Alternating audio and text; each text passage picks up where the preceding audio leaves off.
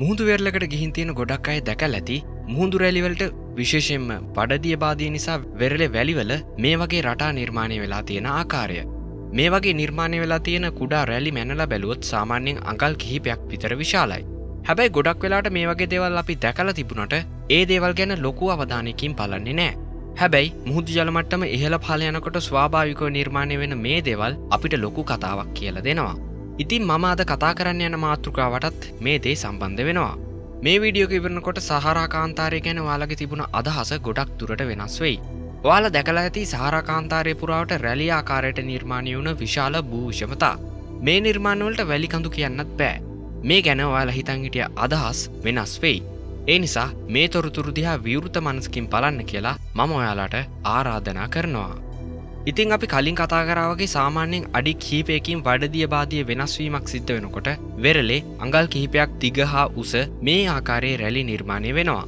වාල මේ දේ දැකලත් ඇති. ඒනම් හිතල බලන්න. සහරා කාන්තාරය පුරාවට තියෙන මේ රැලි ආකාරයේ භූෂමතා නිර්මාණය වෙන්න මුණතරම් විශාල ජලපහරක් ගලාගෙනයන්න ඇද්ද. විශේෂෙන්ම අපි කලින් කතා කරලා තියෙන රිකාඩ් පිහිටීම ළඟත් මේ දේ බලාගන්න පුළුවන්. හොඳින් නිරීක්ෂණය කරලා බලන්න. කිලෝමිටර් කීපයක පර්තරයක් තියෙන අඩි සිය ගණනක් උස රැලි නිර්මාණය වෙලා තියෙන ආකාරයේදයා හොඳින් බලන්න. මේ රැලියාකාරයේ භූෂමතා කොච්චර විශාලද කියලා කියනවා නම් චන්ද්‍රිකාචායරූපවලින් මේ දේ හොඳින් නිරීක්ෂණය කරන්න පුළුවන්. ඒ තරම් විශාලයි. ඔයාල මේ දකින්න මොරිටානියාවේ වෙරලතීරයෙන් සතපුම් දෙසියක් ගොඩබිම් පැත්තර වෙන්න පිහිටල තියෙන භූමි ප්‍රදේශයක්. එහම නැත්තං අප්‍රිකාවේ සහරාකාන්තාරයේ බටහිර කොටසේ පිහිටලා තියෙන භූමි ප්‍රදේශයක්. ඒවගේ මොයාලට පේනවඇති මේ ප්‍රදේශයේ විශාල ජලපහරක් නිසා කාදනයට ලක් වෙලා තියෙන ආකාරය. කොටස් කිහිපයකින්ම මේ ප්‍රදේශය ගැන ඔයාලට මම විස්තර කරලා තියෙනවා. ඒ කොටස් බැලුවේ නැත්තං අනිවාරෙන්ම බලන්න. ඔයාල මේ දේවල්වලට උනන්දුනම් ගොඩක් වැදගත් වෙයි. ඉතින් මේ කාදනයට ලක් වෙලා තියෙන ආකාරය කොයිතරම් විශාලද කියලකිවොත් අභ්‍යවකාශයෙන්දන් හොඳින් නිරීක්ෂණය කරන්න පුළොන් තරම් විශාලයි. මේ චන්ද්‍රිකාචාරූප දිහා හොඳින් බලන්න. මේ ඡායරූප හොඳින් නිරීක්ෂණකොරොත් ඔයාලට පේනවා ඇති අපි මුහුදුවෙරලිදි දකින ආකාරයේ රැලි මේ ප්‍රදේශය පුරාවට නිර්මාණය වෙලා තියෙන ආකාරය. අපි මුහුදුවෙරලිදි දැක්ක රැලි අඟල්වලින් එහෙමනත්තා සෙන්ටිමීටර්වලින් මැන්නට මේ සහරා ප්‍රදේශයේ තියෙන රැලිනම් කිලෝමීටර්වලින් එහමනත්තන් සතපුම් වලින් තමයි මනින්න පුළුවන්. මංකිවදේ සමහරිට ඔයාලට විශ්වාස කරන්න අමාරු ඇති. අපි නිකමට මේ ප්‍රදේශය තියෙන කුඩා රැලි දෙකක් අතර පරතරය මැනල බලමු. ඔයාලට පේන ඇති අඩි තුන්දස් හයිසිය හතලියක් දුරයි කියලා Google මැප්සලින් පෙන්න්නනවා. ඒ ඇනි කිලෝමීටරකටත් වඩා පොඩ්ඩක් තුරයි. මේ ආසන්නේ තියෙන ගොඩක් රැලි කිලෝමිටර් ගණනාවක් විශාලයි. ඔයාලට පේනවති සමහර රැලි අතර පරතරය අඩි හයිදස් සුන්සියක් විතර වෙනවා. ඒකැන්නේ කිලෝමිටර් දෙකට ආසන්නයි. ඉතින් ඔයාලට නිකමට මතක්කරොත් කිලෝමීටරක් කියන්නේ අඩි තුන්දස් දෙසියසුවක් දශමස්ථාන නැතුව. මේ දේට මදාල වෙන ඉතා වැදගත් වීඩියෝවක් ඔයාලට පෙන්න්නම්. මේ වීඩියෝ තියෙන්නේ අවුදු කිහිපේට කලින් රැන්ඩල් කාසන් හා ග්‍රෑම් හැංකොක් ජෝරෝගන් එක්ස්පිරියන්ස් කියන පොඩ්කෑස්ට් එකේදී දිරිපත් කරපු අදහස් කීපයක්. මේ අවස්ථාවදි රැන්ඩල් කාල්සන් ඇමරිකාවේ මොන්ටානා ප්‍රාන්තයේ මැද පිහිටල තියෙන රැලි ආකාරයේ භූෂමතා ගැන ඉතා හොඳ පැහැදිලි කිරීමක් සිද්ධ කරනවා. ඔහු කියන ආකාරයට මේ භූෂමතා නිර්මාණය වෙලා තියෙන්නේ අන්තිමටම පැතුන හිමයුගේදී උතුරු ඇමරිකානු අයිස්තට්ටුව ෂණිකව දීවයාම නිසා නිදහසුන විශාල ජලපාරක් නිසා. වාල කැමතිනම් මේ සම්පූර්ණ වීඩියෝකම බලන්න ඉතා වැදගත් හොඳ තොරතුරු ගොඩක් ඔයාලට දැනගන්න පුළුවන් ලිංක එක ඩිස්ක්‍රපෂන් එක තියෙනවා rippled landscape that looks exactly like the beach looks. Yeah, Yeah. keep coming around with That's that. the Let's- thing, it's fractal, because this, this Yeah. is the, the whole mystery of this, that this happens at a scale of inches on beaches and a scale of hundreds of feet here. And there's a farmhouse. You see the farmhouse there? Now, those ripples are the tallest ones are about the height of a five story building. Whoa. Like 70 feet or something 50 like that? feet. 50 feet? 50 okay. feet. So that's those are 50 feet high. Okay, let's pause again. Whoa. Look at this. This is crazy. This is totally crazy. This is one of the craziest things you'll ever see. This is right this here. these ripples, repeated ripples in an area where there's nothing else like it. The closest, the closest we can get to it is a, is a tsunami. But even there, you got to picture the tsunamis that we've experienced in the last decade and a half, in you know, in in Indonesia and Japan. When they made landfall, those tsunamis were roughly between 20 and 50 feet, depending on where you were relative to the to the oncoming wave and how far distant you were from it. Here, what you have to visualize is a tsunami sweeping over the land that's over a thousand feet deep. That's that's what happened here. And we know that because we can trace the, the, the high water marks on the hillsides are clearly left. The high water marks are clearly etched into the, into the hillsides. පුදුමිතෙනවා නේද. මේ මොන්ටානා ප්‍රදේශය අඩි පනාකුස ඒවගේ අඩි තුන්සීක පරතරයක් තියෙන රැලියාකාරයේ භූෂමතා නිර්මාණය වෙලා තියෙන්නේ අඩි දහස් ගණනක් කුස ජල පහරක් නිසා. දැන් ඇතිවෙන ප්‍රශ්නය තමයි සහරා ප්‍රදේශය තියෙන අඩි දෙසියක් කුස කිලෝමිටර් එකයි දශම හතකට වඩා පරතරයක් තියෙන රැලියාකාරය මේ භූෂමතා නිර්මාණය වෙන්න මොන වගේ විශාල ජල පහරක් බලපාන්න නැද්ද. තාම ඔයාලගේ කුතුහලේ ඇවිසුනේ නැද්ද. එහෙනම් දැම්මම ඔයාලට පෙන්නල දෙන්න යන මේ උදාහරණ තුනක් සහිත සාධක තුන්න දිහා හොඳින් බලන්න. මේ සාධක සහරා ප්‍රදේශයේ ජලපහරකින් කාදනය වෙලා තියෙන ආකාරය සමඟ හොඳින් එකිනෙක සම්බන්ධ වෙනවා. ඒවගේ මේ සාධක මේ සිදුවීම සිද්ධ වෙලා තියන්නේ වසර එකොළොස්දාහත් දොළොස්දාහත් අතර කාලයකට කලින් කියලා පැහැදිලිව පෙන්නල දෙනවා. ඉති මේ දේවල් ගැන කතා කරන්න කලින් පොඩි කාරණා කීපයක් මුලින්ම අපි පැහැදිලි කරගෙනීමු. වාල මේ දකින භූෂමතා වැලි කඳුරන් නෙමේ. මේ රැලියාකාරයේ භූෂමතා ඇත්තටම නිර්මාණය වෙලා තියන්නේ විශාල ජලපහරක් ගලාගෙනයාම නිසා. හරියට අපි පටන්ගද්දිම කතා කරපු මුහුදු වෙරලේ නිර්මාණය වෙලා තියෙන රැලි වගේ. මේ දේ තවදුරටත් හොඳින් පැහැදිලි කරගන්න වැලිකඳු කියලා හරියටම තහවුරු කරන්තියෙන භූෂමතා දිස්වෙන ආකාරයත් සමඟ සංසන්ධනය කරලා බලමු. මේකට ගැලපෙන හොඳම තැන තමයි නැමීබියාවේ කාන්තාරයේ තියෙන වැලිකඳු. මේ වැලිකඳු ලෝකයේ තියෙන විශාලම වැලිකඳු අතරට අයත් වෙනවා. මේ අපුරු භූවිෂමතාව පිහිටලා තියෙන්නේ අත්ලාන්තික් සාගරයේ වෙරල තීරයට ආසන්නයෙන්. මේ නිසා වැලිකඳු හා මුහුදු ජලපහර නිසා නිර්මාණය වුණ රැලි එකම ස්ථානයක වෙන්වෙන්ව පැහැදිලිව නිරීක්ෂණය කරන්න පුළුවන්. හොඳින් නිරීක්ෂණය කරල බලන්න. සමහරවිට ඔයාලට මේ වැලිකඳුත් ඒවගේම ජලපහරක් නිසා නිර්මාණය වුණ රැලිත් බැලූ බැල්මටම එක වගේ පේනවා ඇති. ඒත් හොඳින් බැලුත් ඔයාලට පේනවා ඇති මේ වැලිකඳු සම්පූර්ණයෙන්ම නිර්මාණය වෙලා තියෙන්නේ බැලිවලින්. නමුත් සහරා ප්‍රදේශය තියෙන මේ භූෂමතා නිර්මාණය වෙලා තියෙන්නේ පිහිටි පොළොවේ තියෙන පාශානයත් රැලි ආකාරයට කාදනයට ලක් වෙලා. හරියටම අපි මුහුදුවෙරලේ දකින විදිහටම. ඔයාල හිතනවද පුළඟට මේ වගේ දෙයක් කරන්න පුළුවන් කියලා. එම හිතනවනම් වා කලින් කොටස් බලල නෑ. වැදගත්ම කාරණය තමයි මේ භූෂමතා විශාල ජලපහරක් නිසා නිර්මාණය වුණ භූෂමතා කියලා මේ සම්බන්ධවන්න රැන්ඩල් කාසන් වගේ විශේෂඥයන් විසින් තහවුරු කරලා තියෙනවා. මේ වගේ රැලි නිර්මාණය වෙන ආකාරය බලන්න මුහුදු වෙරලටම යන්න ඕනේ නෑ. ඔයාලගේ ගෙදර ළඟ තියෙන කානුවකත් මේ වගේ රැලි නිර්මාණය වෙලා තියෙන ආකාරය නිරීක්ෂණය කරන්න පුළුවන්. ඔයාලට පේනවති අපි සාරකාන්තාරයේ දැක්ක ආකාරයම කුඩා රැලි මේ කානුවේ වතුර පහර නිසා පතුලේ නිර්මාණය වෙලා තියෙන ආකාරය. ඉතින් ඔයාලට පැහැදිලුව පේනව ඇති මේවා සුලන් නිසා නිර්මාණය වුණ වැලි කඳුනම් නෙමෙයි කියලා. සහරභූමි ප්‍රදේශයේ බහුතරයක් ජලපාරක් නිසා කාදනයට ලක් වෙලා තියෙන ආකාරය අනුව සලකල බලද්දි ඇතිවෙන ප්‍රශ්නය තමයි මොනවගේ හේතුවක් නිසා කොයි වගේ කාලෙක මේ දේ සිද්ධ වෙන්න ඇත්ත කියලා. ඉතිං අපි ඉස්සල්ලම් බලමු සහරාකාන්තාරය පුරාවට බහුලෝ තියෙන මේ ලුණු ගැන. මේ ගැනත් මං කලින් කොටස්සලින් කතා කරලා තියෙනවා. ගොඩක් අය දන්නඇති දෙයක් තමයි මේ සහරා ප්‍රදේශින් විශාල ලුණු ප්‍රමාණයක් වෙළඳ භාවිතය සඳහා ලබා ගන්නවා කියන එක.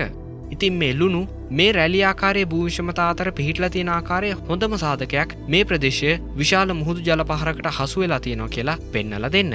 මේ ලුණු නිර්මාණය වෙලා තියෙන මේ ප්‍රදේශයට බලපාපු විශාල ජලපහරින් ඉතුරුණ මුහුදු ජලය කාලයත් සමඟ වාශ්පීකරණයට ලක්වීම නිසා. උදාහරණයක් විදිට මොරිටානියාවේ විශාල වශයෙන් ලුණු තැන්පත් වෙලා තියෙනවා.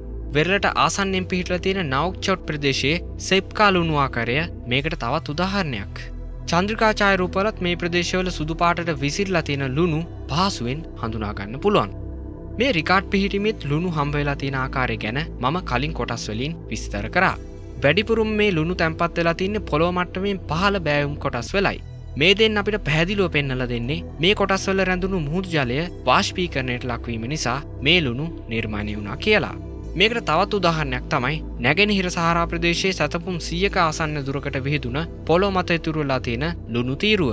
ඉතින් ඔයාලට පුළුවන් Google ඇත් එක මේ ස්ථානය බලන්න. ඒ විතරක් නෙමේ ඔයාලට පුළුවන් මේ ලුණු තැන්පත් වෙලා තියෙන ප්‍රදේශය කොයිතරම් පහලින්ද පිහිටලා තියෙන කියලා හොයලා බලන්න. එතකොට යාල දකි අනිත් වටේට තියෙන මුළු ප්‍රදේශයට වඩා මේ ප්‍රදේශය අඩි සිය ගණනක් පහලින් ද්‍රෝණයක් ආකාරයට පිහිටල තියෙනවා කියලා. ඒවගේ මවලට පැහැදිලිව පේනවා ඇති මේ ස්ථානය පිහිටලා තියන්නේ විශාල ජලපහරක් නිසා කාදනයට ලක් වුණ ගමන් මාර්ගයක් මැද. මේ නිසා මේ ස්ථානයේ මුහුදු ජලය රැඳෙන් නැති කියලා අපිට හිතාගන්න පුළුවන්. මේ සාධකයත් අනිත් සාධකතිකත් අතර එකින එක සම්බන්ධ වෙනවා. ඔයාලට මතකැති මං කලින්කිව මේ සිදුවීම සිද්ධ වෙලා තියන්නේ පසර එකොළොස් දාහත් දොළොස් දාහත් අතර කාලසීමාවකට කලින් කියලා. ගොඩක් අය මේ විශාල ජලපහරක් නිසා මේ කාදනය සිද්ධ වෙලා තියෙනවා කියලා විශ්වාස කරන්නේ වසර මිලියන පනස් හැත් හැට හැත් අතර කාලසීමාවකට කලින් පැවතුන ට්‍රාන්ස් සහරන් සීවේ කියන අවස්ථාවේදී. තවත් සමහර විද්‍යාඥයන් මේ අවස්ථාව තිබුණු කාලසීමාව වසර මිලියන පණහත් සීයත් අතර ඇතාතීතයකට තල්ලු කරලා තියෙනවා. එත් ඇත්තටම හොඳින් නිරීක්ෂණය කළ බැලුත් මේ දේ වැරදි කියලා ඔප්පු කරන පැහැදිලි සාධක හොයාගන්න පුළුවන්. ඔයාල හොඳින් නිරීක්ෂණය කළ බන්න මේ ට්‍රාන්ස් සහරන් සීවේ කියන අවස්ථාවති බටහිර සහරා ප්‍රදේශය හරහා මුහුදු ජල පහරක් ගමන් කරලා තියෙනවද කියලා. නෑනේද මේ මුහුදු ජලය ගමන් කරලා තියෙන්නේ දකුණු දිශාවට. ඉතිං වාල චන්ද්‍රකාචායරූපදිහා පැලුවොත් හොඳින්ම පේනවා මේ කාදනය සිද්ධ වෙලා තින්නේ බටහිර සාරා ප්‍රදේශය දිශාවට. මේ කාදනි සිද්ධ කරපු ජලපහර බටහිර සාරා ප්‍රදේශයෙන් අත්ලාන්තික් සාගරයට ගමන් කරලා තියෙනවා. නමුත් මේ නූතන කාලය හොයාගත ට්‍රාන්ස් සහරන් සීවේ කියෙන සිදුවීමෙන් මේ සහරා ප්‍රදේශය කාදනයට ලක් වෙලා තියෙන ආකාරය පැහැදිලි වෙන්නේ නෑ. මේ නිසා තමයි මම කියන්නේ මේ සිදුවීම සිද්ධ වෙලා තියෙන්නේ ඊට වඩා මෑත කාලයකෙති කියලා. කලින් කිව්වාගේ අවුරුදු එකොළොස් දහත් දොළොස් දහත් අතර කාලසීමකට කලින්. ඔයාල හිතනවති කොහොමද මම එහෙම කියන්න කියලා. දැන් වාලගේ කුතුහලේ තවත් වැඩිවෙයි. මේ දේ හොඳට අහගන්න. සහරකාන්තාරයේ උසම ස්ථානය තමයි චැඩ්වල පිහිටලා තියෙන එමිකුසී කියෙන ගිනිකන්ද. මේ ගිනිකන්ද කල්දේරම් පිහිටලා තියෙන්නේ අඩි එකොළොස් දස් තුන්සියක උසින්. ඒවගේම මේ ගිනිකන්ද නිර්මාණය වෙලා තියෙනවා කියලා සැලකෙන්නේ වසර මිලියන දෙකත් තුනත් අතර කාලසීමාවකට කලින් සිදුවන විධාරණය වීමකින්. වැදගත්ම කාරණය තමයි මේ ගිනිකන්ද අවසානවතාවට විධාරණය වෙලා ලාව ගලාගෙන ගිහිල්ලා තියෙන්නේ මේ ගිනිකන්දේ දකුණු පැත්තෙන්. ඒ වසර දොළොස්දාහකට කලින් කාලසීමාවකයි. බලන්න මේ ගිනිකන්ද පිහිටලා තියන්නේ විශාල ජලපහරක් නිසා කාදනයට ලක්වුණ මාර්ගයට ආසන්නයෙන්මයි. ඔයාල්ට පේන ඇති අවුරුදු දොළොස්දාහට කලින් ලාවා ගලාගෙනගේ මාර්ගයේ කොටසක් මේ ජලපහර නිසා කාදනයට ලක් වෙලා තියෙන ආකාරය. ඒවගේම අමතක් කරන්න එපා මේ කාදනය සිද්ධ වෙලා තියෙන්නේ ගිනිකන්දේ දකුණු පැත්තෙන් කියලා. ඔයාලට පැහැදිලෝ පේනවති ලාවා ගලාගෙනගේ මාර්ගයේ කොටසක් මැකිලා ගිහින් තියෙන විදිහ. හිතල බලන්න හුළඟට පුළුවන්ද මේ වගේ දෙයක් සිද්ධ කරන්න. විද්‍යාඥයන් විසින් මේ ගිනිකන්ද පරීක්ෂණවට ලක් කරලා තමයි මේ ගිනිකන්ද වසර දොළොස්දාහකට කලින් විධාරණය වෙලා තියෙනවා කියලා පාර්තා නිකුත් කරලා තියෙන්නේ. මේක මං මේ හදල කියන දෙයක් නෙමෙයි. එතකොට මේ ලාවා ගලාගෙනගේ මාර්ගයේ කාදනයට ලක් වෙන්න නම් එහමනත්තම් මැකිල යන්න නම් මේ වගේ ජලපාරක් ඇතිවෙලා තියෙන්නේ මේ ගිනිකන්ද අවසානවතාවට විධාරණය වුණට පස්සේ කාලසීමාවකයි. මේ අදහස තාර්කිකයි නේද. ඔයාලට ඒ දේ පැහැදිලිව තේරනවා ඇති. ඒ විතරක් නෙමේ අඩි එකොස් දස්තුන්සීක උසින් පිටලා තියෙන මේ එමිකුසී ගිනිකන්දේ කල් දෙරෙමේ ඔයාලට මේ සුදු පාටට දකින්න තියෙන්නේ හිමනන් නෙමෙයි. ඔයාල හිතෙන විදියට මේ මුණාවද.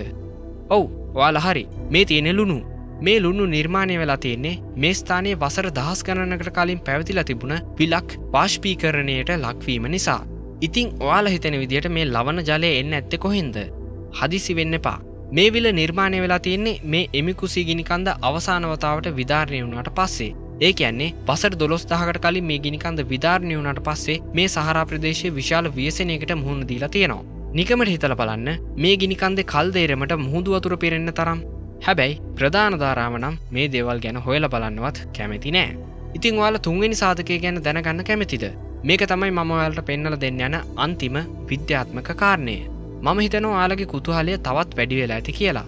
හරි අපි මෙහෙම හිතමු මේ සහරා ප්‍රදේශය හරා විශාල ජලපාරක් ගලාගෙන ගිහින් බටහිර පැත්තෙන් අත්ලාන්තික්සාගරයට ගලා බැස්සනම් මේ බටහිර අත්ලාන්තික් වෙරල ප්‍රදේශය අති විශාල රොන් මඩ හා සුන්බුන් රාශයක් එකතු වෙලා ගොඩ ගැහිලා තියෙන්න ඕනේ. ඒකට හේතුව මේ චන්ද්‍රකාචායරූප නිරීක්ෂණය කරද්දි මේ කාදන ලක්ෂණ පෙන්නල දෙන්නේ මේ ගමන් මාර්ගය නිසා. එත් ඇත්තර මෙහෙම දෙයක් හම්බෙලා තියෙනවද එහෙම දෙයක් ගැන හොයල බලපු විද්‍යාත්මක වාර්තා තියෙනවද කියලා මම අන්තර්ජාලය හොයලා බැලවා. එතකොට මට මේ අපූරු වාර්තාව හම්බ වුණා. මේ වාර්තාවෙන් විස්තර කරන්නේ මොරිටානියාවේ වෙරලතීරයට ආසන්නේ මුහුදු පතුල සිතියන් ගත කිරීමක්. ඉතින් මොරිටානියාවේ වෙරලතීරය පිහිටලා තියෙන්නේ බටහිර සාරා ප්‍රදේශයේ. පැදගත්ම දේ තමයි මේ ප්‍රදේශයේ මුහුදු පතුලේ විශාල නායයාමක් සිද්ධ වෙලා තියෙනවා. මේ නායාම මොරිටානියා ස්ලයිට් කියලා හඳුන්වනවා. මේ රතුපාට රවුන් කල්ල තියෙන කොටස තමයි මොරිටානියා ස්ලයිට් කියලා හඳුන්වන්නේ ඔයාල්ට පේනවැති මේ කොටසේ උතුරින්දන් දකුණට අවමශයෙන් සතපුම් එකසී විස්සක්වත් පලලයි. නැගෙන හිරඉඳලා බටහිරට සැතපුම් හාරසීකට වඩා පලලයි. ඔයාලට පේන ඇති මේ නායෑමට ලක් වෙලා තියෙන කොටස ඉතා විශාලයි කියලා. ඒ විතරක් නෙමේ මේ ප්‍රදේශයේ මුහුදු පතුලේ තැන්පත් වෙලා තියෙන රොන්මඩ තට්ටුවේ ගණකම ආසන්න වශයෙන් මීටර් දහස් ගණනක් වෙනවා. සැතපුමකටත් වඩා ගණකම තට්ටුවක්. ඉතින් හිතල බලන්නකෝ කොයි තරන් සුන්බූන් ප්‍රමාණයක් තැන්පත් වෙලා ඇද කියලා හිතා ගන්නත් අමාරුයි නේද. තවත් විශේෂකාරණයක් කියන්නද. මේ අධ්‍යනී සිද්ධ කරපු විශේෂඥයන් සඳහන් කරලා තියෙන ආකාරයට මේරුන් මට තට්ටුව වසර එකොළොස් දහක් පරණයි. තවදුරටත් ඔවුන් සඳහන් කරනවා මේ සඳහා සුනාමියක් හේතුවෙන් නැති කියලා. ඉතින් මේ තොරතුරු දිහා බලද්‍ය අපිට පැහැදිලිවම් පේනදේ තමයි මෑත කාලයකදී සහරා ප්‍රදේශය විශාල වියසනයකට මුහුණ දීලා තියෙනවා. ඕනම කෙනෙක්ට මම මේ පෙන්න්න පුතොරතුරු ඇත්තද කියලා හොල බලන්න පුළුවන්. එහම හොල බැලුත් තමයි ඒක වටනාකම තවත් වැඩි වෙන්නේ. තවත් කාරණයක් තමයි හුඟක් අය හිතන්ගන්න සහරා ප්‍රදේශය කාන්තාරයක් බවට පත්වෙලා තියන්නේ වසර මිලියන ගණනාවකට කලින් කියලා. ඒත් ඇත්තට මෙහෙම නෑ මෑතකාලේදී විද්‍යාඥයන් හොයාගෙන තියෙනවා වසර එකොළොස් දහත් පන්දහත් අතර කාලසීමාවට කලින් සහරා ප්‍රදේශය ගස්වැල් සතාසිවපාවන්ගෙන් පිරුණ විශාල විල්වලින් හා දැවන්ත ගංගා පද්ධතිවලින් වැහිලා තිබුණ හරිත ශශ්‍රීක භූමියක් විදියට පැවිතිල තිබිලතිනවා කියලා.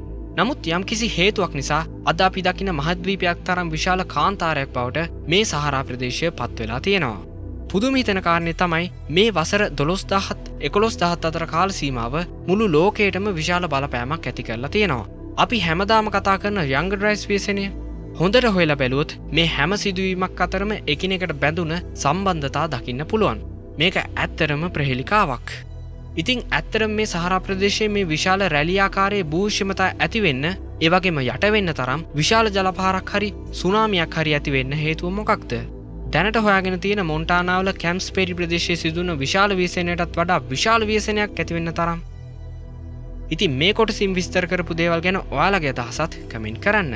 ඒවගේම විවේකයක් තියෙන වෙලාට හොයල බලන්න ඒවගේම හිතල බලන්න මේ සහරා ප්‍රදේශය කාදනය වෙලා තියෙන ආකාරය ගැන අඩි එකොළොස් දාහකට වඩා උසින් පිහිල්ල තියෙන ගිනිකන්දකට මුහුදු ජලය එකතු වෙලා තියෙන ආකාරය මේ සහරා ප්‍රදේශයේ අපුරු රැලියාකාරයේ භූෂමතාවල හා සහරා කාන්තාරය පුරාවට ලුණු රැඳිල තියෙන ආකාරය මොරිටානියාවේ වෙරලාසන්නේ මුහුදු පතුලේ වසර එකොළොස් දහක් පරන්න විශාල රොන් මඩ තට්ටුවක් තැන්පත්වෙලා තියෙන ආකාරය ඔයාලට පැහැදිලෝ පේන ඇති මේ කාල සීමාව ඇතුළද යම් කිසි විශාල සිදුවීමක් සිද්ධ වෙලා තියෙනවා කියලා. ඉතිං ඇයි මේ දේ ගැන ප්‍රධානධාරාවේ විශේෂඥයන් හොයලා බලන්න නැත්තේ. ඒකත් ඇත්තරම ලොකු ප්‍රශ්නයක්. ඉස්සර හටත් අපි මේ වගේ දේවල් ගැන හොයල බලමු.